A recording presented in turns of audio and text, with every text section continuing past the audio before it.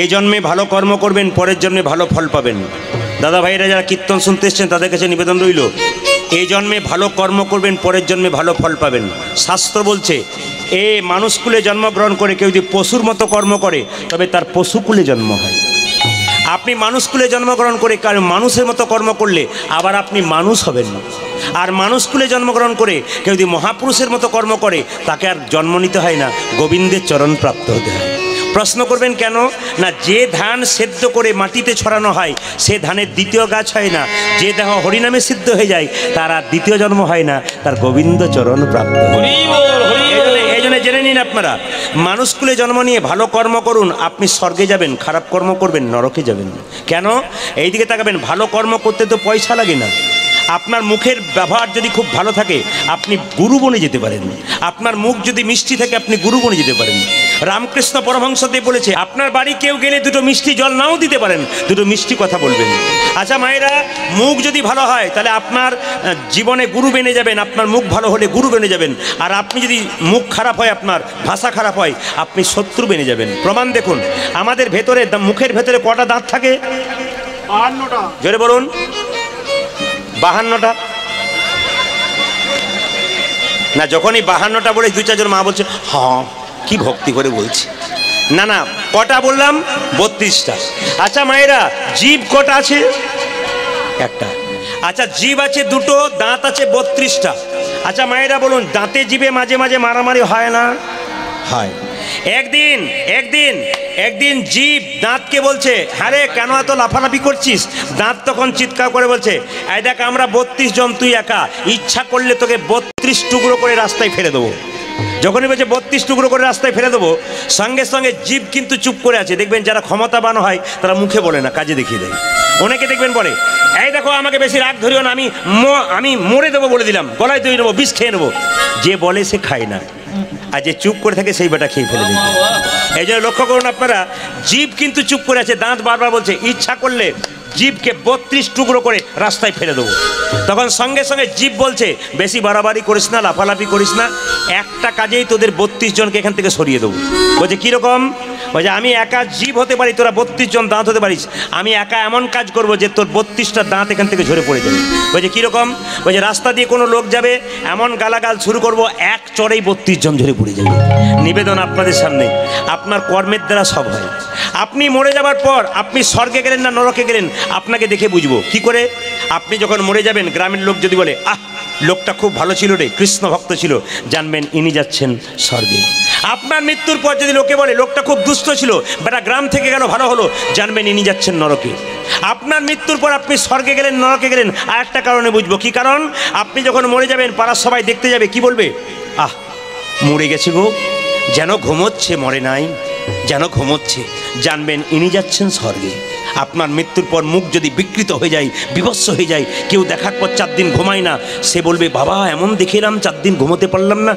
মুখটা বিভৎস হয়ে গেলে জানবেন, আপনি নরকে যাবেন। আপনি ভালো কর্ম করুন, আপনার ভালো কর্মের দ্বারা আপনি স্বর্গে যেতে পারেন। লক্ষ্য করুন, কালিয়নাগকে পূর্বজন্মে চন্দ্রধ্বজ রাজা ছিল।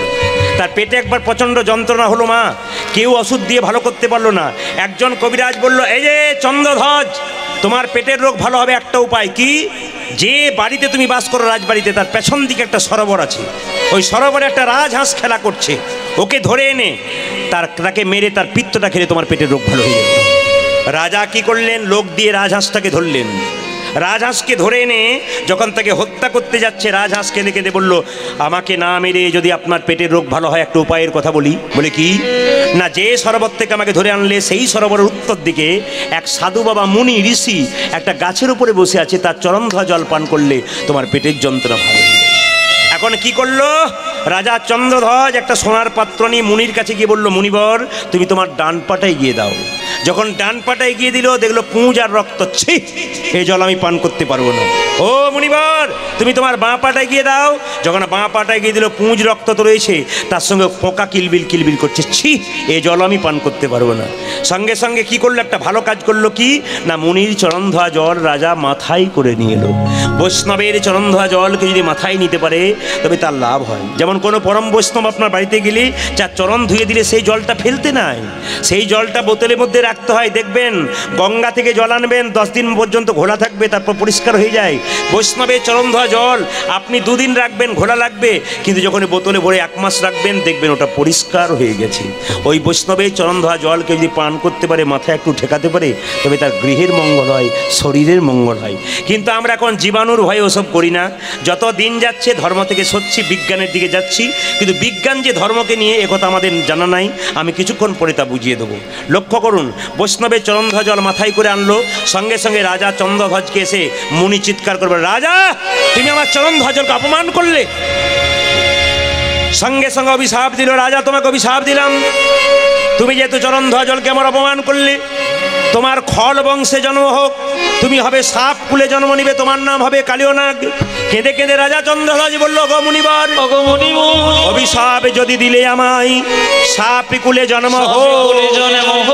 আসিলে যেন গোবিন্দের চরণ আমার মাথায় থাকতে পারে। বৈষ্ণব বলল যেহেতু তুমি বৈষ্ণবের চরণ ধোয়া জল মাথায় করে এনেছো তোমাকে আশীর্বাদ দিলাম। একদিন ভগবান শ্রীকৃষ্ণের নিত্য তোমার মাথার ওপরে হবে। ওই জন্য বাবা কালিয় নাগের মাথার ওপরে কৃষ্ণ নেচেছিল কেন? বৈষ্ণবের চরণ ধোয়া জল মাথায় নিয়েছিল বলে। তবে হ্যাঁ ওই চরণ ধোয়া জল কে পান করেছিল জানেন?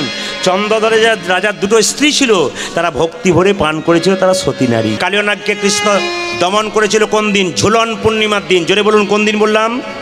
আর একটু জোরে বলুন।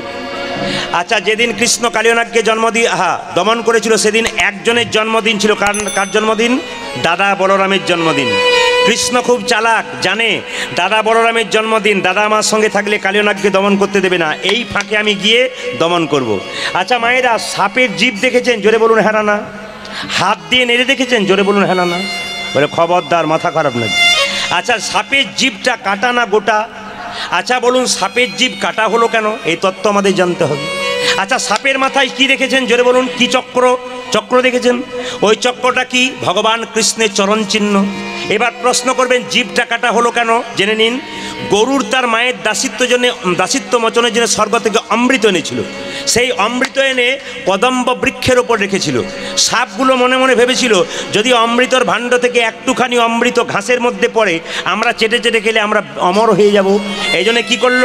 সাপগুলো যখন চাটছে, যে ঘাসের মধ্যে চাটছিল ওই ঘাসটার নাম হচ্ছে এরকা ঘাস, যাকে আপনারা বাংলায় কুচ ঘাস বলেন, খুব ধারালো ঘাস।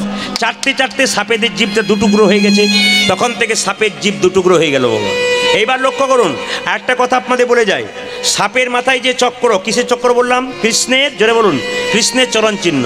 যেদিন কৃষ্ণ কালিয়নাগকে জন্ম দমন করেছিল, বৃন্দাবনে কটা সূর্য উঠেছিল, জেনে নিন, বারোটা। প্রশ্ন করবেন, একটা থেকে বারোটা হলো কেন? কারণ আছে। বলে কৃষ্ণ যখন কালিদহের জলে ঝাঁপ দিয়েছিল সকাগণ কেঁদে কেঁদে বলেছিল, হে সূর্যদেব, আজকে আমাদের গোবিন্দ কালিদহের জলে ঝাঁপ দিয়েছে, থরথর করে কাঁপছে। তুমি এক কাজ করো, আজকে এক নয় বহু হয়ে উদয় হয়ে আমাদের গোবিন্দের শরীরে তাপ বিকিরণ করো। আসলে ভগবানের তো লীলা ভগবানের কখনো ঠান্ডা লাগে? ভগবান দেখছে, ভক্তরা আমার জন্য কত কি করতে পারে। এই যে আজকে আপনারা কীর্তন শুনতে এসছেন, কে কেমন কীর্তন শুনছেন ওটা আমি না বুঝলে একজন বুঝছে কেন? ভগবান বলছে, মন মনা ভবা, তোমার মনটা যদি আমাকে দাও, আমি আমার মনটা তোমাকে দেবো। আজকে হরিবাসরে যতক্ষণ থাকবেন, আপনার মনটা আপনি ভগবানকে দেবেন। লক্ষ্য করুন, কালীনাগ যেখানে বাস করে, এত বিষ ঢালতে শুরু করল যে বিষের বাতাসে সেই পথ দিয়ে পশু পাখি পর্যন্ত পেরিয়ে যায় ছটপট করতে করতে মরে যায় আচ্ছা প্রশ্ন করবেন, কালীয় নাগ কেন কালীদহের জলে বিষ ঢেলেছিল? তত্ত্ব কি?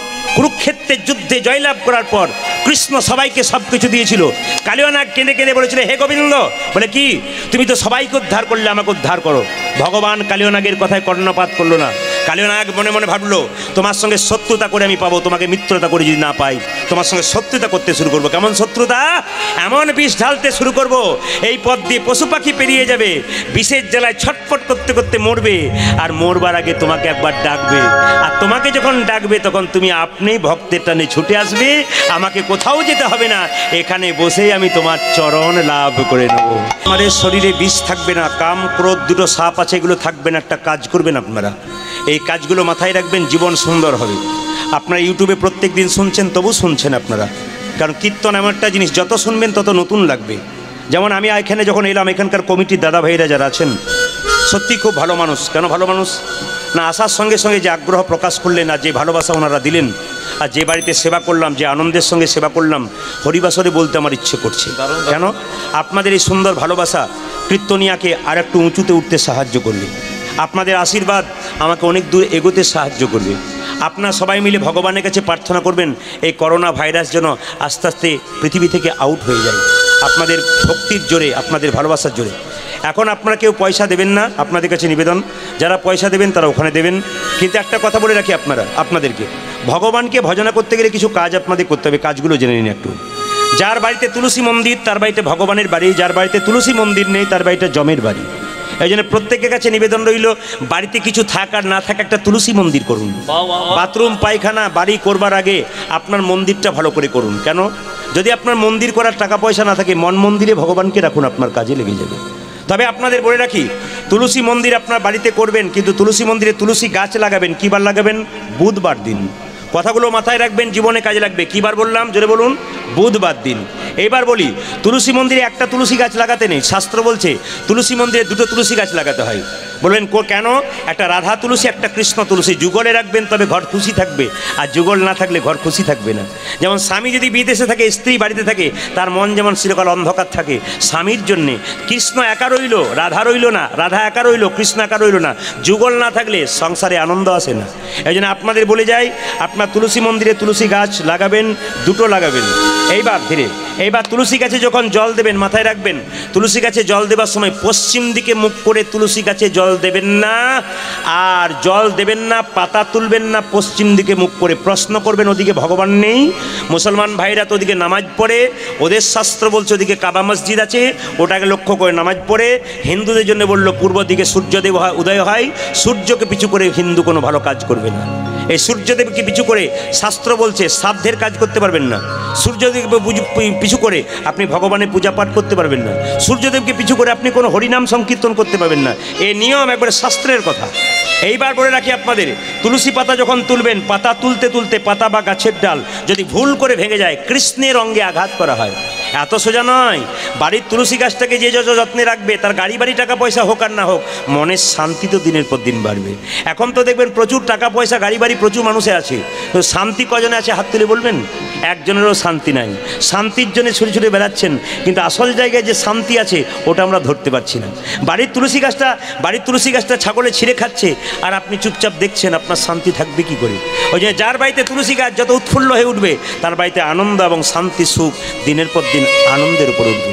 এইবার বলি আপনাদের, মায়েরা তুলসী পাতা যখন তুলবেন, পাতা তুলতে তুলতে পাতা বা গাছের ডাল ভেঙে গেলে কৃষ্ণের অঙ্গে আঘাত করা হয়। এই জন্য পাতা তুলতে তুলতে দাদা ভাইরা জেনে নেবেন, পাতা তুলতে তুলতে মাথায় রাখবেন, যদি হরে কৃষ্ণ মহামন্ত্র নাম করতে করতে তোলেন, এতে পাতা যদি ভেঙে যায়, আপনার কোনো ক্ষতি হবে না। কিন্তু মন্ত্র বলতে বলতে তুলবেন।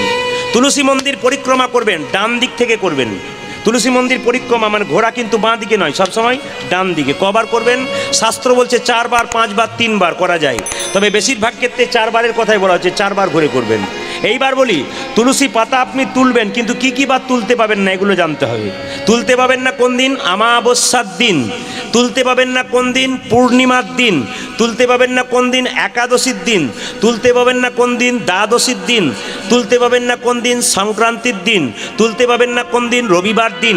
এই দিনগুলো মাথায় রাখবেন। একবার বলে দিই, একাদশী, দ্বাদশী আমাবস্যা পূর্ণিমা, সংক্রান্তি এবং রবিবার, এই দিনগুলো আপনার তুলসী পাতা তুলতে পাবেন না। তবে হ্যাঁ অদ্বৈত মহাপ্রভু, শ্রীবাস গদাধর হ্যাঁ আপনার যে ফটোটা দেখেন, ছবিটা পঞ্চতত্ত্বের মহাপ্রভু আছে, নিত্যানন্দ অদ্বৈত শ্রীবাস গদাধর। আপনার কাজ চরণে তুলসীপত্র দেবেন, কাজ চরণে দেবেন না, এটা জানতে হবে। বজেন্দ্র নন্দন যেই শচীসুত হলো সেই বলরাম হইল নিতাই বজেন্দ্র নন্দন কৃষ্ণ যদি গৌর হয়, তাহলে ভগবান গৌরের চরণে তুলসীপত্র দেবেন। আর কাজ চরণে দেবেন? নিত্যানন্দ যদি বলরাম হয়, নিতাইয়ের চরণে দেবেন। অদ্বৈত মহাবিষ্ণুর অবতার অদ্বৈতকে দেবেন। আর দেবেন না, দেবেন কাকে মা? আর দেবেন না কাকে শ্রীবাসকে কেন? ভক্তি তত্ত্ব দেবেন না। আপনি দেবেন না গদাধরকে কেন? উনি রাধা তত্ত্ব রাধা কৃষ্ণ যুগলে থাকলে এইদিকে রাধার হাতে তুলসী পাতা দিতে হয় আর কৃষ্ণের পায়ে তুলসী পাতা দিতে হয়। এই নিয়ম। তবে হ্যাঁ তুলসী পাতা যখন তুলবেন, এই গানটি গাইতে গাইতে তুলবেন। যারা তোলেন তারা তো জানেন। একবার সহজ গান। সবাই মিলে হাততালি দিয়ে, সবাই মিলে। নাম নাম তুলসী কৃষ্ণ প্রেয়সী, রাধা কৃষ্ণের চরণ পাব এই অভিলাষী। নম তুলসী কৃষ্ণ প্রেয়সী, রাধা কৃষ্ণের চরণ পাবো নম তুলসী কৃষ্ণ প্রেয়সী। রাধা কৃষ্ণের চরণ পাবো এই অভিলাষী।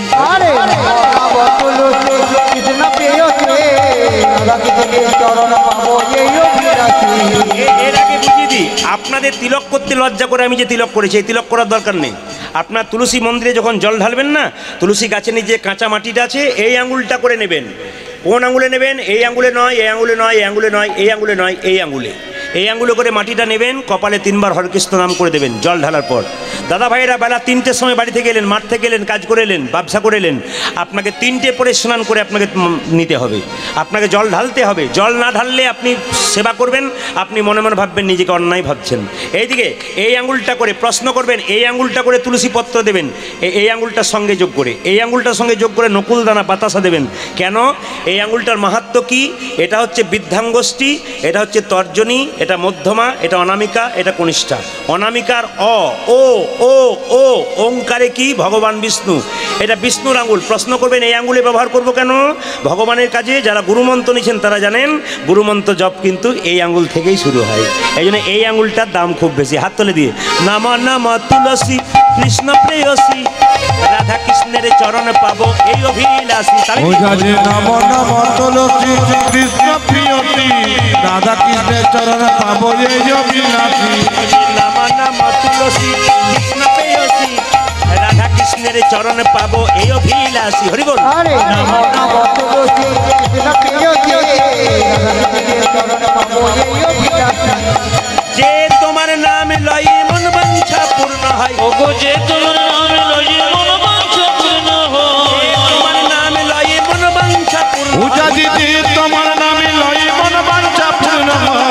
করে কর মরি বৃন্দাবন বাসী।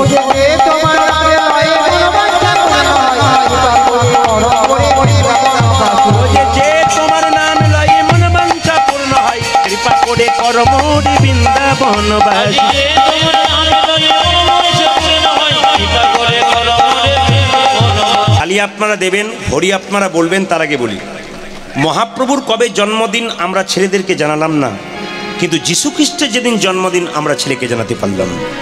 ছেলে জিজ্ঞেস করছে, বাবা, আজকে কেক কিনতে হয় কেন? জানিস না, আজকে যীশু খ্রিস্টের জন্মদিন? কিন্তু যেদিন মহাপ্রভুর জন্মদিন হলো, আমাদের অনেক ছেলেই জানে না কবে মহাপ্রভুর জন্ম হলো। এই জন্য দায়িত্ব আপনারা। নিজের বাচ্চা ছেলের জন্মদিন হবে, তখন আপনারা বেলুন ফোলাচ্ছেন, কেক কাটছেন, মোমবাতি জ্বালিয়ে নিবি দিচ্ছেন। এতজন এখানে বসে আছেন, একজন হাত তুলে হিম্মত করে আমাকে বলুন তো, বলব সাহস আছে আপনাদের? বাচ্চা ছেলের যখন জন্মদিন পালন করছেন, তখন আপনি মোমবাতি নেবাচ্ছেন কেন? কি কারণে নেবান? যদি শিক্ষিত ব্যক্তি হয়েছেন তারা হাত তুলে এখানে উত্তর দিন, বলব আপনার হিম্মত আছে। একজনকে জিজ্ঞেস করলাম, আপনি তো শিক্ষিত লোক। আপনার বাচ্চাটা মোমবাতি জ্বালাচ্ছে আর কেক কাটছে। আপনি শেখাচ্ছেন বাচ্চাকে। কোথায় শিখলেন? ওই যে পাশের বাড়ি সব করছিল, ওই দেখে করছে কিন্তু ওরা কেন করছে? এটা পাশ্চাত্য দেশের শিক্ষা। প্রাচ্য দেশের নয়, আমরা ভারতবর্ষের মানুষ। আমাদের সনাতন ধর্ম, আমাদের নিয়ম আছে মা। একটু লক্ষ্য করবেন আপনারা। আমাদের নিয়ম হচ্ছে কেক কাটা নয়। আমাদের নিয়ম হচ্ছে মোমবাতি নয়। আমাদের দেখবেন যখন বাচ্চারা জন্মদিন পালন হচ্ছে, আপনাদের দিকে হয় কিনা জানি না। মোমবাতি জ্বালালো, কেকটাকে কাটলো হ্যাপি বার্থডে টু ইউ ফুস। মোমবাতি জ্বালিয়ে নিভিয়ে দিল। জিজ্ঞেস, তার বাবাও জানে না, ছেলেও জানে না, মাও জানে না? মানেটা কি? শুধু করতে হয় করে ফ্যাশন যেমন দেখবেন, এখনকার ছেলেরা জিন্সের প্যান্ট পরে পঁচিশ জায়গা ফাটা। আমি বললাম, দাদা, এটা কি ব্যাপার? বলছে ফ্যাশন ওই জন্য আমরা মনে মনে ভাবলাম, পাঞ্জাবির দোকানে পাঞ্জাবি কিনতে গিয়ে বলব, চার পাঁচটা পটি দেওয়া দিয়ে দাও তো, এটাও ফ্যাশন কোনো অসুবিধা হবে না। আপনি যা পরবেন এখন কোনো অসুবিধা নেই, সব ফ্যাশন হয়ে গেছে। তবে একটা কথা বলে রাখি, পাশ্চাত্য দেশের সঙ্গে আমাদের তুলনা দেখুন। পাশ্চাত্য দেশ আমেরিকা, তারা শাসন করেছিল আমাদের ভারতবর্ষকে। চলে গেছে ইংরেজ ইংরেজ চলে গেল, কিন্তু লেজ মানে ব্যবহারটাকে ফেলে দিয়ে চলে গেল, আমরা জানতে শিখলাম আচ্ছা বলুন ভারতবর্ষের নিয়ম হচ্ছে ঘরের ভেতরে পায়খানা করা নয়, বাইরে পায়খানা করা। আমেরিকার লোকেদের নিয়ম হচ্ছে বাড়ির ভেতরে পায়খানা করা, বাড়ির বাইরে নয়। এখন বলুন, ভারতবর্ষের মানুষ বাড়ির ভেতরে করে না বাইরে করে? দেখবেন, ফ্যাশন করে বলে, দাদা, কি সুন্দর বাড়ি দেখতে পাচ্ছেন? বলে, কেন? এটা কুকিং রুম, এটা বেডরুম আর মাঝে অ্যাটাচ বাথরুম। কি ফ্যাশন? অ্যাটাচ। মানে রান্না করতে গেলেও পায়খানা? আর শুতে গেলেও পায়খানা। এটা ছিল আগে? বলুন আপনারা, এটা ছিল? এটা আমরা কোথায় শিখলাম? আবার দেখবেন, আমাদের নিয়ম হচ্ছে পায়খানা করলে জল নিতে হয়। আমেরিকার নিয়ম হচ্ছে পায়খানা করলে কাগজ দিয়ে মুছে দিতে হয়। না না, সেই নিয়মটা এখন আমাদেরও হচ্ছে, প্রায় বাথরুমে দেখবেন। ট্রেনে গেলে দেখবেন বায়ো টয়লেট আছে, ওখানে জলে টলে কোনো ব্যাপার ব্যাপার নেই, ওগুলো সব কাগজে মোছামুছির ব্যাপার। আমরা সেই পাশ্চাত্য দেশটাকে আগে গ্রহণ করছি, ওদের নীতিগুলোকে। ইংরেজ যখন শাসন করেছিল, রবিবার দিন ছুটি ঘোষণা করেছিল, কেন? চার্চে গির্জাতে যাবার জন্য, ধর্মীয় স্থানে যাবার জন্য, এখনও ভারতবর্ষের মানুষ রবিবার দিন ছুটি ঘোষণা করেছে। হিম্মত করে একজন বলুন, আপনারা কি মন্দিরে যান সেদিন? তবু তো মুসলিমদের বহু মানুষ আছে, যারা মসজিদে যায় শুক্রবার দিন। কটা হিন্দু আছে যে মন্দিরে পাশ দিয়ে পেরিয়ে গেলে বা প্রণাম করে? সবচাইতে লজ্জার ব্যাপার আমাদের এইটাই। ওরা কি করল, আমরা কি করলাম, এইটাই বিচার আমাদের নাই। আমরা শিক্ষিত বলে নিজেকে গর্ব করি, বড়াই করে বেড়াই। এইদিকে মায়েরা, ওদের নিয়ম হচ্ছে বাচ্চা ছেলের জন্মদিন হলে যদি দশ বছর বয়স হয়, দশটা মোমবাতি জ্বালায়। দশটা মোমবাতি জ্বালিয়ে ফু করে নিভিয়ে দেয় আর কেকটাকে কাটে। আর আমাদের ভারতবর্ষের নিয়ম হচ্ছে কি বলুন তো? আমাদের ভারতবর্ষের নিয়ম হচ্ছে যদি দশ বছর বয়স হয়ে যায় ছেলেটার জন্মদিন পালন হয়, তবে সেটাকে কি করতে হয়? প্রদীপ জ্বালাতে হয় ঘিয়ের দশটা। এই প্রদীপটা জ্বালিয়ে প্রভুর কাছে প্রার্থনা করে বলতে হয়, হে প্রভু, এই দশটা বছর যেমন ওর উজ্জ্বল ছিল, পরের বছরটাও যেন ওইরকম উজ্জ্বল হয়ে কাটাতে পারে। এটা আমাদের নিয়ম। আসলে বাচ্চার জন্মদিন যে আপনারা পালন করেন, সত্যি কি ওটা বাচ্চার জন্মদিন? ওটা তো ভূমিষ্ঠ হবার দিন, জন্মদিন বাবাও জানে না, মাও জানে না কবে জন্ম হয়েছে। নাকি যুক্তির কথা বলতে গেলে? বাবাও জানে না, মাও জানে না কবে জন্ম হয়েছে। ভূমিষ্ঠ হওয়ার দিন। আসল জন্মদিন কেউ জানে না। যদি ওইটাকে জন্মদিন পালন করেন, তবে বলে রাখি আপনারা যে, হরে কৃষ্ণ আপনারা যে বাচ্চার জন্মদিনে আপনারা কি করবেন? পায়েস করবেন। মা কি করে? ভোরবেলায় ঘুম থেকে উঠে স্নান করে একটু গোবিন্দভোগের চাল, একটু কিশমিশ, একটু বাদাম দিয়ে একটু সুন্দর করে ক্ষীর তৈরি করে। ওই ক্ষীর তৈরি করার পর ছেলেকে দিয়ে বলে, খোকা, তুই যখন ছোট ছিলি বাবা, তখন স্তনদুগ্ধ তোকে পান করেছিলাম। এখন তো উপায় নাই। এখন তোকে ক্ষীর দিলাম। তোর জীবনটা যেন, আগামী জীবন যেন ক্ষীরের মতো মধুময় হয়ে আচ্ছা মায়েরা বলুন তো, এই যে কেক কাটাকাটি আপনারা করেন আর ফু দিয়ে মোমবাতি নেবান, এর তত্ত্বটা কি? আমি আপনাদের বলে দিই। মানে অন্য তত্ত্ব বলে যায়। কি? মোমবাতি জ্বালান আর ফু দিয়ে মোমবাতি নেভান আর আপনারা কি করেন? কেক কাটেন। কেকের মধ্যে কি থাকে? এমন একটা ফলের নাম করুন। ফল আছে কিন্তু মোটা নাই। কোথাও যদি যান, কোথাও যদি ভালো কাজে যান, ডিমের নাম করলে যাত্রা ভালো হয়। জোরে বলুন। কোথাও যদি যান, তাহলে ডিম দেখে গেলে যাত্রা ভালো হয়। আচ্ছা তাহলে আপনার বাচ্চার জন্মদিনের কেকের মধ্যে ডিম ডিম মাখামাখি করছেন আর ফু দিয়ে নিবাচ্ছেন দশটা মোমবাতি। মানে দশ বছর তো তোর অন্ধকারে গেছে, পরের বছর তোর ডিম হবে। মানেটা তাই আর কি। ডিম খাওয়াচ্ছেন আপনারা। নিবেদন এটা নয়, সবাই মিলে প্রেমসে সনাতন ধর্মের মানুষ আমরা আমরা মোমবাতি জ্বালাবো না, আমরা ঘিয়ের প্রদীপ জ্বালাবো, আমরা কেক কাটবো না, একটু পরমান্ন পায়েস তৈরি করব। সবাই মিলে একসঙ্গে একসঙ্গে। হরে কৃষ্ণ, হরে কৃষ্ণ কৃষ্ণ কৃষ্ণ। হরে হরে, জোরে বলুন। হরে রাম হরে রাম। আরে বা বলুন, হরে কৃষ্ণ। বাহ।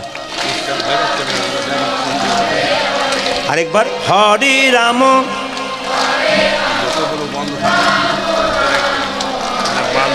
আমাদের হিন্দুদের সবচাইতে বাবারা যত না ভজনা করে, মায়েরা বেশি ভজনা করে। আমাদের বাবারা কি বলে বলুন তো? ইনকিলাব, জিন্দাবাদ, বন্দে মাতরম। এইটাতে পাকো আজ, কিন্তু হরিনামে নাই। সবাই বলুন, হরে কৃষ্ণ হরে কৃষ্ণ কৃষ্ণ কৃষ্ণ, হরে হরে। বলুন, হরে রাম হরে রাম রাম রাম, হরে হরে। হরে কৃষ্ণ হরে কৃষ্ণ কৃষ্ণ কৃষ্ণ।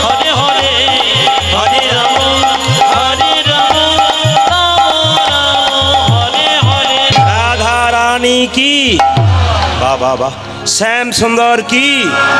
মদন মোহন কি? বলে যায়। যেখানে যেখানে হয় হরির নাম সংকীর্তন সেটাই নিত্য নবদ্বীপ নিত্য বৃন্দাবন।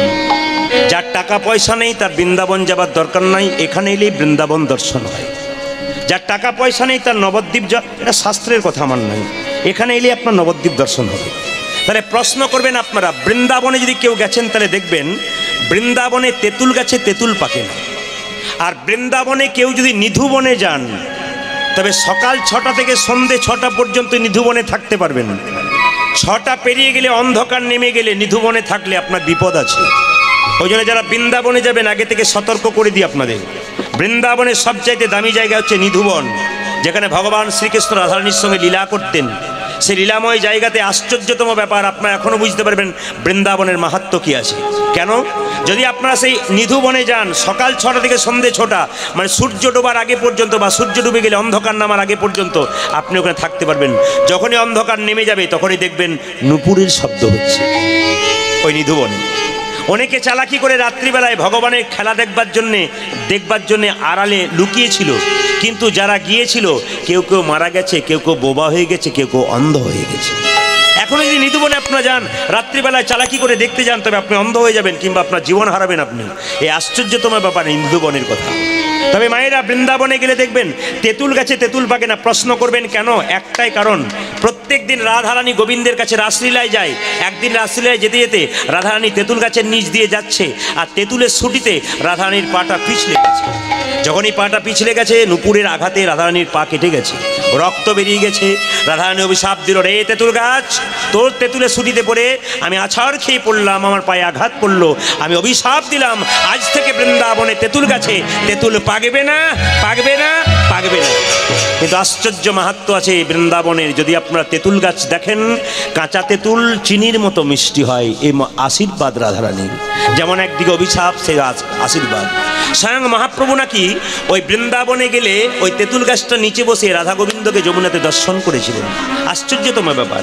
মায়েরা যদি বৃন্দাবনে গিয়ে একাদশী পালন করে, কেউ যদি তেঁতুল গাছটা নিচে বসে আপনি পালন করতে পারেন, রাধা গোবিন্দের কৃপা তো আপনার অবশ্য অবশ্য হয়ে যাবে। তবে এখন বৃন্দাবনে তেঁতুল গাছটার নাই, পড়ে গেছে, কিন্তু সিমেন্টের বেদি বাঁধানো আছে। বহু ভক্ত, বহু ভক্তিমতী মায়েরা একাদশী পালন করার পর ওই জায়গাতে বসে কি করে? না, একটু পালন করে। আচ্ছা আপনাদের কাছে যখন এলাম, তখন ছোট করে বলে রাখি আচ্ছা আপনারা একাদশী কে কে পালন করেন? হাত তুলুন তো, কারা কারা একাদশী করেন? একটু হাত তুলবেন, যারা করেন।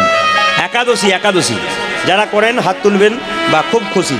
একাদশী যারা করেন তারা ভালো করেন, আর একাদশী যারা না করেন তারা একাই দোষী হয়ে যান। আচ্ছা মায়েরা বলুন তো, একাদশী ছেলে না মেয়ে? জোরে বলবেন। একাদশী ছেলে না মেয়ে? আপনারা মেয়ে বলছেন, কেউ কেউ ছেলে বলছে। আচ্ছা কে কে বলছেন ছেলে হাত তুলুন তো? বাহ, তুলেছে। ছেলে যারা ভাবছে তারা হাত তুলেছে। ছেলে কারা ভাবছেন? এদিকে হাত তুলেছে। আর মেয়ে মেয়ে যারা বলছেন তারা হাত তুলুন তো। এ তো দেখছি দুপক্ষেই রয়েছে। সে ভোটের সময় হয় না, কিছু মানুষ আছে, দুপক্ষেই মুড়ি খায়। কাকে যে ভোট দেয় কেউ জানে না। এ দুপক্ষেই রয়েছে। আচ্ছা দেখুন, একটু পরীক্ষা করে দেখুন যে একাদশী ছেলে না মেয়ে এখনই প্রমাণ হয়ে যাবে। ও মায়েরা, লক্ষ্য করুন। বলছে ভগবান বিষ্ণুর সঙ্গে একজন অসুরের যুদ্ধ হয়েছিল, একাদশীর জন্ম। কি? ভগবান বিষ্ণুর সঙ্গে একজন অসুরের যুদ্ধ হয়েছিল, সেই অসুরটার নাম হচ্ছে মর দেবতাদের সঙ্গে যুদ্ধ হলো, দেবতারা হেরে গেল। ভগবান বিষ্ণুর সঙ্গে একশো বছর যুদ্ধ হলো, ভগবান হেরে যাবার ভান করে একটা পর্বতের গুহাতে লুকিয়ে পড়ল। মোর নামক অসুরটা মনে মনে ভাবলো, এ বিষ্ণু, খুব তো দাপট দেখালে আমাকে। এখন পর্বতের গুহায় লুকিয়ে পড়লে কেন? বেরিয়ে এসো শেষ করে দেবো তোমায়। ভগবান বিষ্ণু তখন কি করলেন? তার শরীর থেকে এক অপূর্ব জ্যোতিষ সৃষ্টি করলেন। সেই জ্যোতি থেকে সৃষ্টি হল এক সুন্দরী রমণী। আর সেই রমণীটা জন্ম নিয়েই সঙ্গে সঙ্গে মুন নামক অসুরের মস্তক ছেদন করে দিলেন। ভগবান বিষ্ণু বলছে, বারে মেয়ে, তোমার তো সাহস কম নয়, তোমার ক্ষমতা খুব। আমি যাকে পারলাম না, তুমি তার মস্তক ছেদন করলে, আমি তোমাকে খুব খুশি হলাম তোমার কাজে। মেয়েটি কেঁদে কেঁদে বলছে, প্রভু, এ তো আমার ক্ষমতা নয় সত্য তোমার ক্ষমতা। কেন? তোমার শরীর থেকে আমার জন্ম হয়েছে, তোমার ক্ষমতাতে আমি ক্ষমতাময়ী হয়েছে। আমাকে অপরাধ ক্ষমা করো। বলছে, বলো তুমি কি চাও? তখন মেয়েটি বলল, আমাকে পৃথিবীতে এমন জায়গায় স্থান দাও, মানুষ আমার মধ্যে এলে তার জন্য মঙ্গল হয়। ভগবান বিষ্ণু বলল, তবে ওরে মেয়ে, আজ থেকে তোর নাম দিলাম একাদশী। তোর মধ্যে যারা আশ্রয় নেবে, সমস্ত তীর্থ ঘুরে যে ফল লাভ করবে, তোর মধ্যে আশ্রয় নিলে সেই ফল তার লাভ হয়ে যাবে। তাহলে দেখুন, এত সুযোগ আমাদের আছে কিন্তু করব না। তীর্থস্থানে ঘুরে ঘুরে যে ফল আপনারা লাভ করবেন, যদি আপনারা একাদশী করতে পারেন, তাহলে সেই ফল আপনারা লাভ করবেন। গতকাল যে একাদশীটা ছিল, কি নাম ছিল? কামদা একাদশী। এত সোজা নয়, এগুলো জানতে হয়। এই জন্য বলে রাখি মায়েরা, একাদশীর দিনে আপনি কি কি খাবেন আর কি কি খাবেন? না একাদশীর আগের দিনে রাত্রিবেলায় আপনাকে ব্রাশ করে নিতে হবে। কেন? জিভ ছুলে নিতে হবে। কেন? না, একাদশীর দিনে ব্রাশ করতে গেলে ব্রাশের যে পেস্টের মধ্যে লবণ থাকে, লবণ নেওয়া চলবে না। আপনি তেতো নিতে পাবেন না। এই জন্যে আগের রাত্রিতে আপনাকে ব্রাশ করে নিতে হয়। যদি আপনার মাড়ি কেটে যায়, জিভ ছুলতে গিয়ে জিভ কেটে যায়, রক্ত বেরিয়ে গেলে একাদশী হবে না। নিয়ম আছে। পরের দিন সকালবেলায় ঘুম থেকে উঠে আপনি স্নান করার পর শ্রীমদ্ ভাগবত গীতা পড়বেন। আপনি ফুল তুলবেন। ফুল তোলার পর গোবিন্দ চরণে দেবেন। সারাদিন গোবিন্দের নাম করবেন। শ্রীমদ্ ভাগবত গীতা পড়বেন। এইবার বলি মায়েরা, যে বিছানায় শুয়ে থাকেন, সেই বিছানায় শুতে পাবেন না। আলাদা বিছানা আপনাকে শুতে হবে। সারাদিন ভগবানের নাম করতে হবে। কী কী খেতে পাবেন আপনি? যদি নির্জলা করেন, তাহলে তো কোনো অসুবিধাই নেই। আর যদি কারও অসুবিধা হয়, তার জন্য পথ্য বলে দিয়েছে কি? সুন্দর করে তত্ত্বের দ্বারা বলেছে, আপনারা পঞ্চশস্য খেতে পাবেন না কেন? চাল থেকে যা তৈরি হয় তা খেতে পাবেন না। ডাল থেকে যা তৈরি হয় খেতে পাবেন না। গম থেকে যা তৈরি হয় খেতে পাবেন না। জব থেকে যা তৈরি হয় খেতে পাবেন না। সরিষা থেকে যা তৈরি হয় খেতে পাবেন না। সরিষার তেল মাখতে পাবেন না, সরিষার তেল খেতে পাবেন না। তাহলে আপনারা বলবেন, কোন তেল মাখতে পাবো? আপনি ঘি মাখতে পারেন। আপনি তেল যদি খেতে চান, রান্না করে, তবে আপনি ফরচুন তেল খেতে পারেন, সাদা তেল যেটাকে বলা হয়। আচ্ছা বলে রাখি, আপনারা ফলের মধ্যে যে কোনো ফল খেতে পাবেন। যদি মনে করেন সবজি করব, একটু কাঁচা কুমড়ো বা পাকা কুমড়ো, আলু হ্যাঁ কাঁচা পেঁপে হ্যাঁ একটু কলা দিয়ে আপনারা সবজি করতে পারেন, আপনার লাভ আছে। তবে হ্যাঁ সামা চালের পায়েস অনেকে খায়। সামা চালের পায়েস আর সাবুদানা, এই নিয়ে কিন্তু আমাদের শাস্ত্রে দ্বিমত আছে। কোনো জায়গায় বলছে খেতে আছে, কোনো জায়গায় বলছে খেতে নাই। আচ্ছা বাবা, একদিন ওই দুটো নাই বা খেলাম, তাতে কি আছে? তর্কের জায়গায় যেয়ে কি লাভ আছে? ওই দুটো আমরা খাব না। আপনার দুধ খাবেন, আপনার কলা খাবেন, কিন্তু মিষ্টি খাবেন না। কেন বলুন তো? মিষ্টির মধ্যে সেদিন দোকান থেকে যে মিষ্টি আনবেন, তা যে পিওর হবে, পবিত্র হবে, আপনি জানতে পারবেন না। সারাদিন আপনাকে ভগবানকে স্মরণ করতে হবে, আপনি একাদশী করুন, পরের দিনে আপনি পালন করুন। আসুন, সবাই মিলে বলুন, রাধা রানী কি? শ্যাম সুন্দর কি? মদন মোহন কি? হরিবাসর কি? সবাই মিলে লীলা শুরু করবার আগে একবার সবাই হাত তুলে গান আমার সঙ্গে। কৃষ্ণ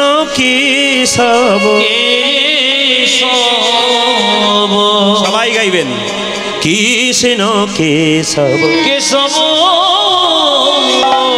সুধা মাখা এই নাম হরি নাম মধু মাখা এই নাম।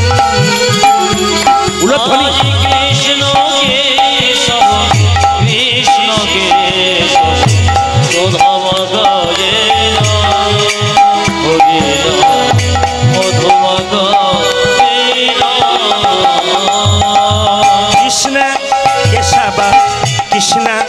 কেশব, সুধা এই নাম, হরি নাম, মধু এই নাম নাম নাম।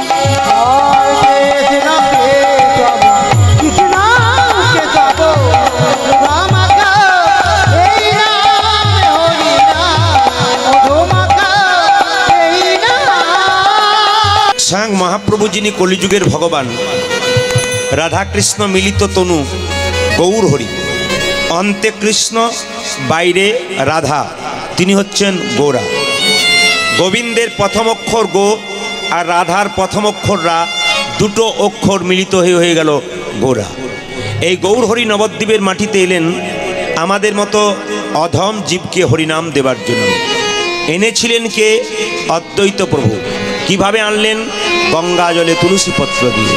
মাইরা আপনাদের কাছে যদি তুলসী পত্র না থাকে গঙ্গা জল না থাকে চন্দন কেনার পয়সা না থাকে তত্ত্ব বলল ভক্তি চন্দন গোবিন্দের চরণে দাও। যদি তুলসী পত্র না থাকে তবে মন তুলসী গোবিন্দের চরণে দাও। যদি গঙ্গা জল না থাকে আপনারা তো জানেন চোখের জল দিয়ে গোবিন্দের চরণ এই তিনটে জিনিস যদি গোবিন্দকে দেওয়া যায় গোবিন্দ আর কিছু চায় না। আপনারা আপেল, কলা, লেবু মন্দিরে নিয়ে যান। একটু হাত তুলে বলতে পারবেন, ভগবান খায়? জোরে বলুন, খায় না। আচ্ছা ভগবান যদি খায় না, তবে আপনারা যান কেন? না না। মন্দির হচ্ছে উপাসনার জায়গা, সেখানে বাসনা দূর হয়। এই জন্য ভগবান খায় না, ভগবান দেখে। আপনি যে আপেল, কলা, লেবু নিয়ে গেলেন, প্রেমের ভাবে নিয়ে গেলেন না, অহংকারের ভাবে নিয়ে গেলেন? ভগবান আপনার আপেলও খায় না, কলাও খায় না, লেবুও খায় না বাতাসাও খায় না, মন্দাও খায় না, আপনার প্রেমটুকু খায়। যদি শাস্ত্রের দিকে যায়, আপনারা তো সবাই জানেন যে শত ভাইয়ের দাদা দুর্যোধন কৃষ্ণকে নিমন্ত্রণ করেছিল, এমন খাবার খাওয়াবো, বাপ জন্মে খাওনি। ভগবান বলল, নিমন্ত্রণ রক্ষা করব, দরজায় যাব, কিন্তু খাব না কেন? অহংকারের সেবা গ্রহণ করব না। ঢেকুর তুলে চলে এসেছিল। খেয়েছিল কার বাড়িতে? বিদুরের স্ত্রী, পরাশরী। ভক্তি ভরে ভগবানকে ডেকেছিল। কলা বাদ দিয়ে কলার খোসা খেয়েছিল। এর থেকে ভগবান প্রমাণ দিলেন, ভক্তি যার কৃষ্ণ তার। সর্বশাস্ত্রে কয়, ভক্তি না থাকিলে কৃষ্ণ দেখিলেই কি বা হয়। এই জন্যে আজকে অদ্বৈত প্রভু গঙ্গা জলে তুলসী পত্র দিলেন। আর দিলেন আর অন্য ঘাটে স্নান করছেন সচিমাতা সেই ঘাটে তুলসী পাত্রার পত্রটা ভাসতে ভাসতে সচিমাতার নাভির চারিদিকে বিলীন হয়ে গেল। মহাপ্রভু এলেন। কখন এলেন? ফাল্গুন মাসে, মায়েরা। ভগবান মহাপ্রভু কলিযুগের ভগবান এলেন ফাল্গুন মাসে। কত তারিখে? তেইশে ফাল্গুন। মাথায় রাখবেন কথা বলুন। তেইশে ফাল্গুন মহাপ্রভু এলেন। বলবেন, কটার সময় এসেছিলেন? ঠিক সন্ধে পাঁচটা ছিচল্লিশ মিনিটে। বলবেন, কী বার এসেছিলেন? কেউ কেউ বলে শুক্রবার, কেউ কেউ বলে শনিবার। এই জন্য আপনাদের কাছে নিবেদন রইল, ভগবান যখন সচিমাতার কোলে এলেন, আশ্চর্যের ব্যাপার স্তনদুগ্ধ পান করলেন না, কান্নাকাটি করলেন না, হাত পা নাড়াচাড়া করলেন না। যে মা বাচ্চা জন্ম দিল, বাচ্চা যদি কান্নাকাটি না করে, হাত পা নাড়াচাড়া না করে, আপনি বাচ্চাকে নিয়ে হসপিটালে চলে যান। সচিমাতার কোলের ছেলে গৌর, নিমাই, জন্ম নেওয়ার সঙ্গে সঙ্গে হাত পা নাড়াচাড়া করল না, কান্নাকাটি করল না। পাড়ার মেয়েরা বলল, সচি তোর ছেলে আর বাঁচবে না। যে মাকে বলা হয় তোর ছেলে আর বাঁচবে না সেই মায়ের কি অবস্থা হয়? সচিমাতা বলল তাহলে কি ছেলে আমার বাঁচবে না? আসলে মহাপ্রভু মায়ের গর্বে তেরো মাস ছিল মা। এই জন্য আমরা দেখবেন আপন আপন হাতে সব আপন আপন হাতে সব কত? সাড়ে তিন হাত। কিন্তু মহাপ্রভু চার হাত। এইরকম করে যখন মহাপ্রভু দাঁড়াতেন না আমরা দাঁড়ালে আমাদের হাঁটু পর্যন্ত হাত যায় না। কিন্তু মহাপ্রভুর হাতটা হাঁটু পর্যন্ত যায় এই জন্য মহাপ্রভুকে আজানু লম্বিত ভুজে বলা হয়। এই জন্য তিনি যখন জন্ম নিলেন, পাড়ার মেয়েরা একজন এসে বলল, ও সচি তোর ছেলের বাঁচবার উপায় আছে। কি? তোদের বাড়িতে একটা নিম গাছ আছে তো। আতুর ঘরটা করবি তো নিম গাছের নিচে কর। কেন? জম যদি তোর ছেলেকে নিতে আসে, তে তোর ভয়ে পালিয়ে যাবে। নিম গাছের নিচে আতুর ঘরটা করল মা। কান্নাকাটি শুরু করল, হাত পা নাড়াচাড়া করল, মায়ের স্তনদুগ্ধ পান করল, নাম রাখলেন নিমাই। কিন্তু ছেলেটা এত সুন্দর দেখতে রাস্তায় খেলা করলে যেই তাকে দেখে কোলে নিতে ইচ্ছা হয়। কিন্তু ছেলেটার স্বভাব খুব খারাপ। যার কোলে চাপে, তার কোলে কান্নাকাটি করে নামবার জন্য। পাড়ার মেয়েরা খুব লোভী বাচ্চাটাকে কোলে নিতে যায়। লজেস বিস্কুট দেয় যাতে বাচ্চা কান্নাকাটি না করে, কিন্তু লজেস বিস্কুট দিলেও কান্নাকাটি করে। পাড়ার মেয়েরা সচিকে বলে, সচি, এত সুন্দর আকাশের চাঁদের মতো, কাঁচা সোনার মতো ছেলে জন্ম দিলি। আমাদের ইচ্ছা হয় কোলে নিতে, কিন্তু যখনই কোলে নিতে যায়, খালি কান্নাকাটি করে। কি করলে কান্না বন্ধ হবে বলতো? সচিমাতা বলছে, না না, লজেন্স বিস্কুট দিলে আমার বাচ্চার কান্না বন্ধ হয় না। আমার বাচ্চার কানে কৃষ্ণ নাম শুনিয়ে দিবি দেখবি বাচ্চার কান্না বন্ধ হয়ে যাবে পাড়ার মেয়েরা ছোট্ট গোপাল নিমাইকে কোলে নিয়ে কানে কানে বলতো বল কি কৃষ্ণা কৃষ্ণা কৃষ্ণা কৃষ্ণা কৃষ্ণা কৃষ্ণা কৃষ্ণা কৃষ্ণা কৃষ্ণা কৃষ্ণা কৃষ্ণা কৃষ্ণা কৃষ্ণা কৃষ্ণ হে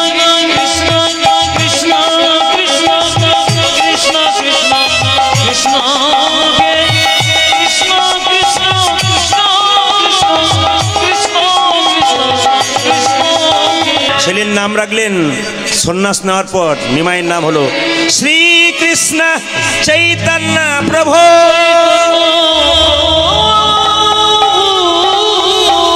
শ্রীকৃষ্ণ চৈতন্য প্রভু।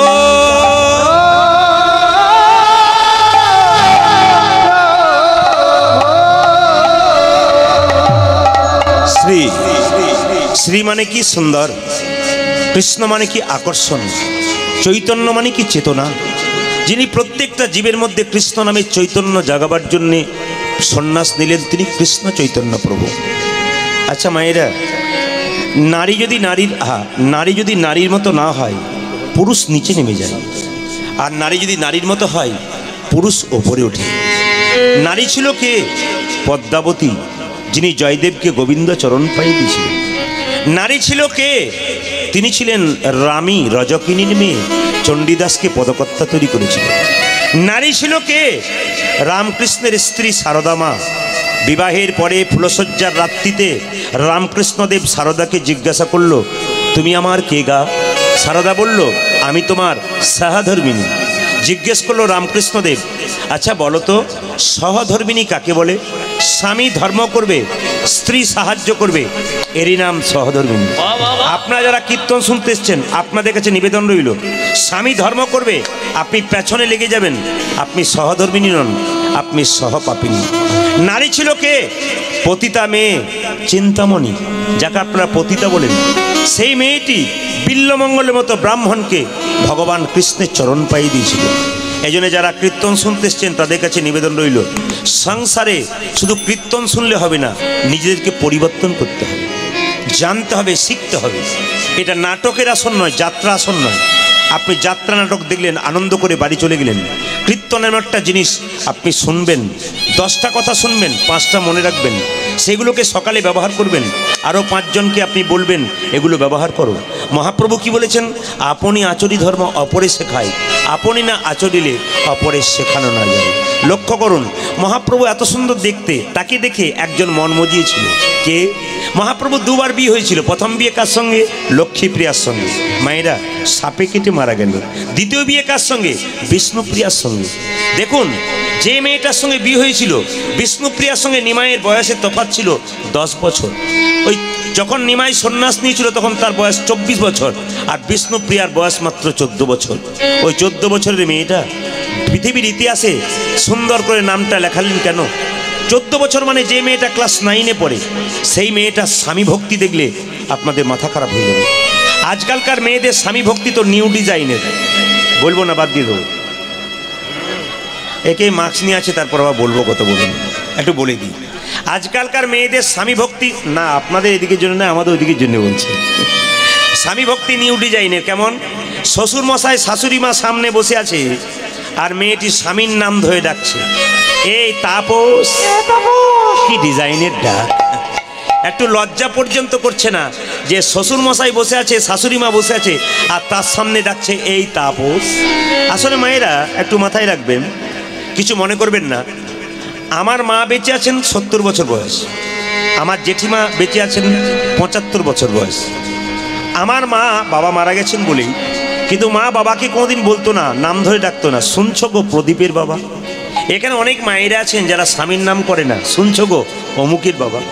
কিন্তু দেখুন, এখনকার মেয়েরা, আপনাদের জন্য বলি নাই, নাম করে করে ডাকে। এই নাম করে আপনার ডাকবেন না, যত নাম করে ডাকবেন, অপরাধের ভাগী হবেন আপনার। না না, এটা এই নয়। আপনি পাশ্চাত্য দেশের সঙ্গে নিজেকে তুলনা করবেন। আপনি অধঃপতনের দিকে নিজেকে নিয়ে যাচ্ছেন। আপনি যে আপনার স্বামীর নাম ধরে ডাকেন, আপনি যে মেয়েটাকে জন্ম দিলেন, সেই মেয়েটা বড় হয়ে তার স্বামীকে কি করবে আপনি যে জায়গায় পৌঁছাচ্ছেন, আপনি শিখিয়ে দিচ্ছেন। কেন? কুমোর যখন হাড়ি তৈরি করে, হাড়ির কানা যদি বাঁকা হয়ে যায়, কুমোর দায়ী না হাড়ি দায়ী? কুমোর দায়ী। কেন বলুন তো? কুমোর হাড়িটাকে বাঁকা পড়েছে আপনি আপনার ছেলে মেয়েকে মানুষ করতে পারলেন না তার জন্য দায়ী তো আপনি। সবাই লক্ষ্য করুন। এখনকার মেয়েরা কোনো স্বামীর নাম ধরে ডাকে। আসলে বলে রাখি মায়েরা আহ, ওই বিয়ের সময় চোখে কি ঢাকা দেওয়া হয়? জোরে বলুন। পান যা। এই দেখুন কার্তিক ঠাকুর এসেছে খুব ভক্ত। বলছে পান পান। তো পান ঢাকা দেওয়া হয় তো? আচ্ছা মায়েরা পান যে ঢাকা দেওয়া হয় কেউ জানেন যে পানটা কেন ঢাকা দেওয়া হয়? বলে অত যদি জানব তাহলে তোমাকে কেন ডাকবো? শুনে নিন সবাই, যে বিয়ের সময় পানটা কেন ঢাকা দেওয়া হয়? পান হচ্ছে যোগমায়া তার মানে পানটি সরিয়ে মেয়েটি স্বামীর মুখ দেখবে আর মায়ার যোগ হয়ে যাবে। আমি তোমার, তুমি আমার। এটা যোগ মায়া। এই কথাটি এক জায়গায় বলেছি, এক কাকাবাবুর বাড়িতে বাসা। তিনি বললেন প্রদীপ বাবু আপনি সবই ভালো বললেন, এক জায়গায় খুব আমার খটকা লাগল। বলে কেন? তো আপনি যে বললেন যে পান সরালেই মায়া হয়, আমার তিনটে ছেলে, তিনটে বউ, মায়ায় নাই, খালি ঝগড়া করছে। বললাম, কাকাবাবু, মায়া থাকবে কি করে? পান ঢাকা দেবার আগে কতবার রাস্তাতে দেখা হয়ে যাচ্ছে? হচ্ছে না? এই জন্যই তো গন্ডগোলটা বাড়ছে। তবে বলে রাখি, আপনার স্বামীর নাম ধরে ডাকবেন না। আমি একটা তত্ত্বের কথা নয়, বাস্তবের কথা বলে যাই। আমাদের পাশের বাড়িতে একটা কাকিমা আছেন। উনি বললেন, প্রদীপ, তোর কীর্তন তো বহু শুনছি, কিন্তু গুরুমন্ত্রের কথা বারবার বলিস। আর আমার গুরুমন্ত্র নেওয়া হয় না, বাবা, একটু মন্ত্রের কথা বলতো কি করলে মন্ত্র নেব? বললাম, আমার গুরুদেব যিনি আছেন, অপূর্ব চট্টোপাধ্যায়, তাকে আমি ডেকে দিচ্ছি। আপনি গুরুমন্ত্র নিয়ে নিন। কাকিমা বলল, বেশ, ঠিক আছে, নিয়ে নেব। আমি গানে বেরিয়ে গেলাম। গুরুদেব গুরুমন্ত্র দিয়েছেন, খুব খুশি। কিন্তু আমি যখন গান থেকে ফিরলাম, কাকিমা এসে বলছে, বাবা, তুই তো সব কিছু ভালো বললি, কিন্তু একটা গন্ডগোল হলো। বলে, কি? গুরুদেব বলেছেন, গুরুমন্ত্র জপ করবার আগে মহামন্ত্র জপ করতে হয়। গুরুমন্ত্র জপ করবার আগে প্রত্যেককে মহামন্ত্র জপ করতে হয়। তো বলছে, মহামন্ত্রটা কি তুই তো জানিস? আমি বললাম হ্যাঁ হরে কৃষ্ণ হরে কৃষ্ণ কৃষ্ণ কৃষ্ণ, হরে হরে হরে রাম হরে রাম রাম রাম, হরে। বলছে, তুই তো জানিস প্রদীপ আমি যখন হরে কৃষ্ণ বলতে যাই, হরে কৃষ্ণ হরে কৃষ্ণ কৃষ্ণ কৃষ্ণ, হরে হরে, তারপর আর বলতে পারি না, তুই তো জানিস তোর কাকার কি নাম বটে? মানে কিছু বুঝলেন? কি নাম বটে? রাম। বলছে, হরে কৃষ্ণ হরে কৃষ্ণ কৃষ্ণ কৃষ্ণ, হরে হরে। তারপরে থমকে যাই, কি করব? বললাম, কাকিমা, কোনো অসুবিধা নাই, আপনি বলুন। বলে, কেন? স্বামীর নাম, ভগবানের নামে সঙ্গে নাম, আপনার অসুবিধা নাই, বলুন। ও তখন বলছে, তোর কীর্তন শোনা বাদ দেবো, তবু আচ্ছা গুরুমন্ত্র নিলাম, ভালো করলাম, কিন্তু স্বামীর নাম আমি করতে পারব না। বললাম, তাহলে তুমি কি করে গুরুমন্ত্র ভজনা করবে? বলছে, শোন বাবা, আমি একটা বুদ্ধি করেছি। বলে, কি? না, আমার একটি মাত্র ছেলে, পতন দেবতাকে মানত করে পেয়েছি, নাম রেখেছি ফেলারাম। ওই জন্য আমি আজ থেকে সিদ্ধান্ত করেছি, আমি কি করে হরিনাম করব? হরে কৃষ্ণ হরে কৃষ্ণ কৃষ্ণ কৃষ্ণ, হরে হরে হরে ফেলার বাবা, হরে ফেলার বাবা ফেলার বাবা ফেলার বাবা। আমরা কাকি কাকিমা আপনার ঘটে আপনার যা বুদ্ধি আপনাকে আমার কোটি কোটি প্রণাম দারুণ বলেছেন আপনি। তো মায়েরা তাহলে স্বামীর নাম করবে না তবু এটা করবে। আসুন মহাপ্রভু কি করলেন? নবদ্বীপের মাটিতে এসে নিতাই চাঁদকে বললেন দাদা কি নয়নে দেখিবে জানি কৃষ্ণ নামে দেবে তার। নয়নে দেখিবে জানি কৃষ্ণ নামে দেবে তারি। নয়নে দেখিবে জানি কৃষ্ণ নামে দেবে নয়নে দেখিবে জানে কৃষ্ণ নামে দেবে তারে। যেন জাতির বিচার করো না দাদা। জাতির বিচার করো না যেন জাতির বিচার করো না যারে দেখবে নামে দেবে জাতির বিচার করো না তুমি যারে দেখিবে না দেবে জাতির বিচারে করো না দাদা। যারা গুরু মন্ত্র নিয়েছেন তারা ভালো করেছেন যারা নেন নাই কথাগুলো শুনবেন জীবন উন্নত হবে। গুরু মানে কি? গু মানে অন্ধকার রু মানে আলো। যিনি গুরুমন্ত্র নেন নাই তিনি অন্ধকার থেকে আলোর মধ্যে প্রবেশ করেন না গুরু ছাড়া কোনো কাজ কমপ্লিট হয় না। এই যে খোল বাজাচ্ছে, এর গুরু আছে। আমি কীর্তন করছি, আমার গুরু আছে। এরা যা যা যন্ত্র বাজাচ্ছে, সবার গুরু আছে। গুরু ছাড়া শিক্ষা কোনোদিন ভালো হয় না। প্রত্যেকের একজন করে গুরু থাকা দরকার।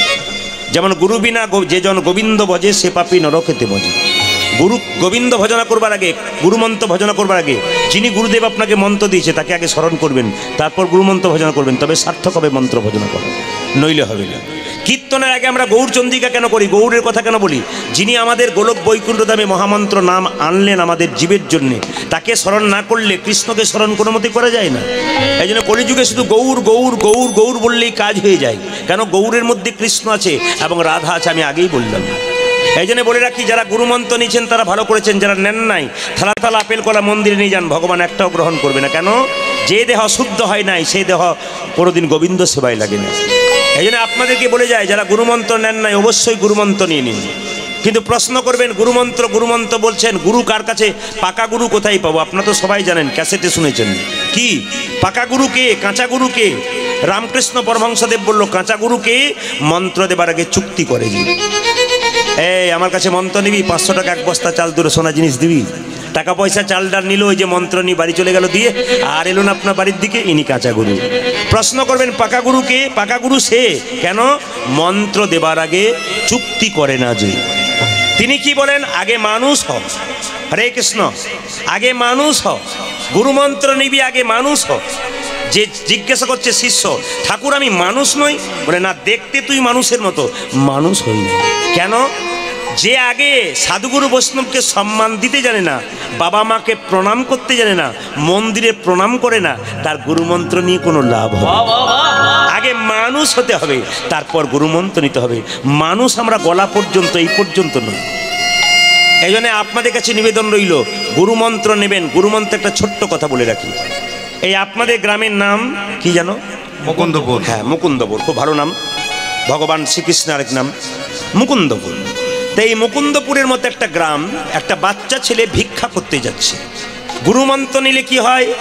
আর হরিনামে দান না করলে কি হয়? একটু বলে যাই তো একটা ছোট্ট ছেলে ভিক্ষা করতে যাচ্ছে গ্রামে গ্রামে বয়স তার পাঁচ বছর।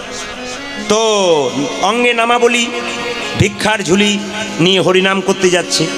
তো প্রত্যেক গ্রামে হরিনাম করছে, একটা গ্রামে ঢুকবার আগে দোকানদার জিজ্ঞেস করছে, এ খোকা, এত সকাল সকাল তোর সন্ধে হলো কেন?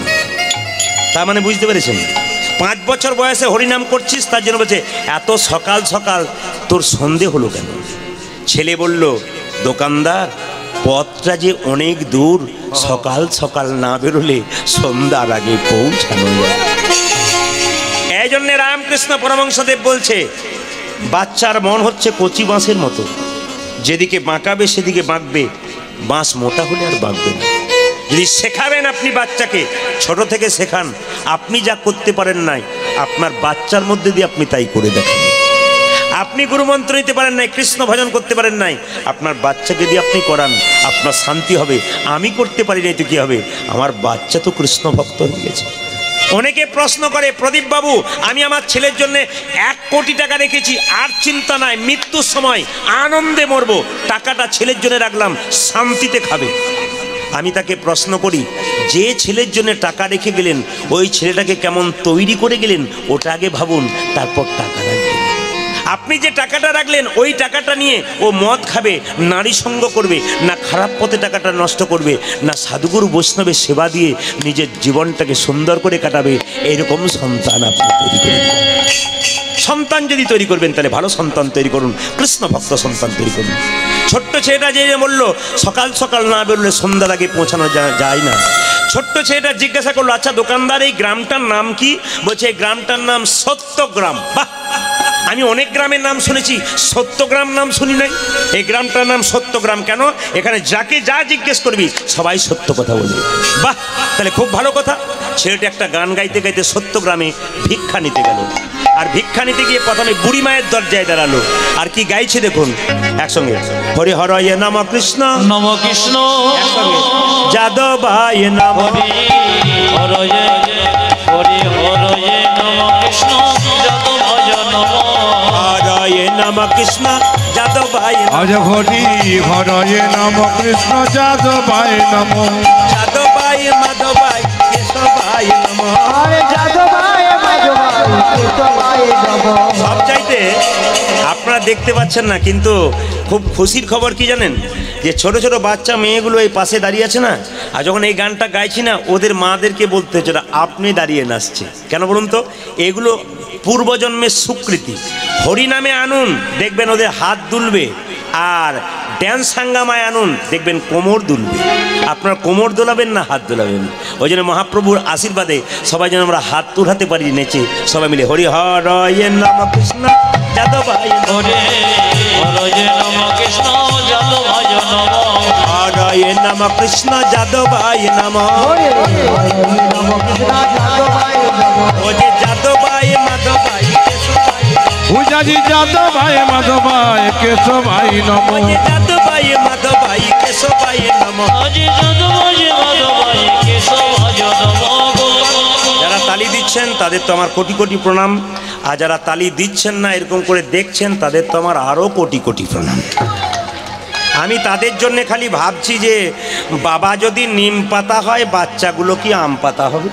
ওইটা আমি ভাব, না না, আপনাদের বলিনি অন্য জায়গার জন্য বললাম আর কি।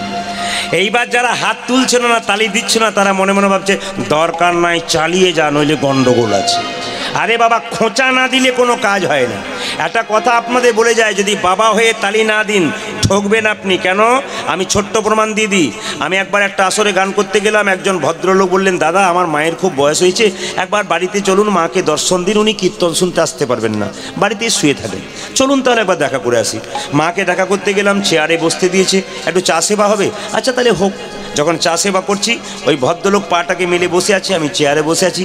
ওর ক্লাস নাইনে পড়া ছেলেটা দৌড়াতে গিয়ে বাবার পায়ে পাটা ঠেকে গেছে আর পালিয়ে গেছে। এদিকে এদিকে বলে কি, দেখতে পাচ্ছিস না কীর্তনিয়া বসে আছে? আমার পায়ে পাটা ঠেকিয়ে গেলি, আর তুই আপনার পালিয়ে যাচ্ছিস, প্রণাম করছিস না? ছেলে বলছে, না, প্রণাম করব না। বলে কেন?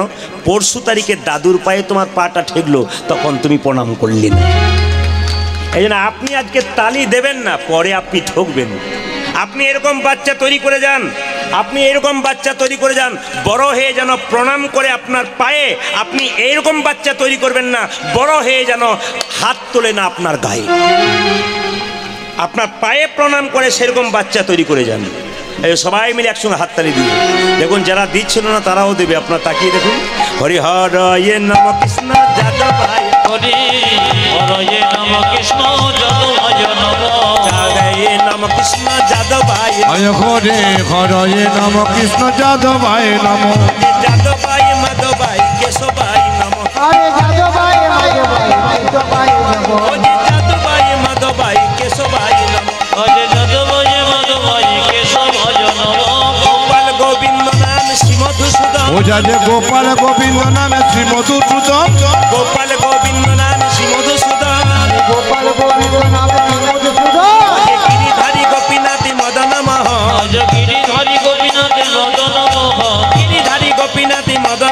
ওঝা যে গিরিধারী গোপীনাথ মদন মোহ